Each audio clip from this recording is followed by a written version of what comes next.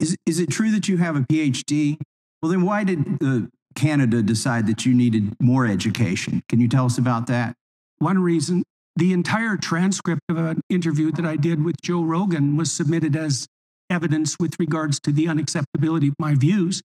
What I was doing primarily in that interview that was criticized was questioning the validity of the economic models of economic collapse that were stacked upon the unstable models detailing out climate change 100 years into the future.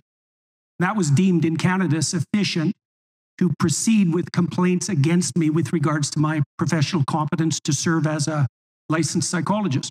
That was only one of many anonymous complaints that were fostered directly in relation to my political views. Well, I thank you for showing up today. I think they may use your testimony as evidence that your re education has not been successful. I yield back to the chairman. Well done. In addressing the significance of free speech, concerns arise about the challenges Dr. Jordan Peterson encounters when scrutinizing specific economic and climate change models. Emphasizing the need for open dialogue on controversial subjects, the focus should highlight individual autonomy and the freedom to express personal beliefs. Dr. Jordan Peterson's experiences could be perceived as jeopardizing his ability to engage in critical discourse without fearing repercussions on his personal freedom.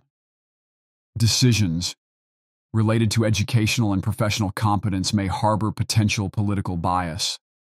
The connection between anonymous complaints and Dr. Jordan Peterson's political views seems to pose a threat to intellectual diversity and academic freedom.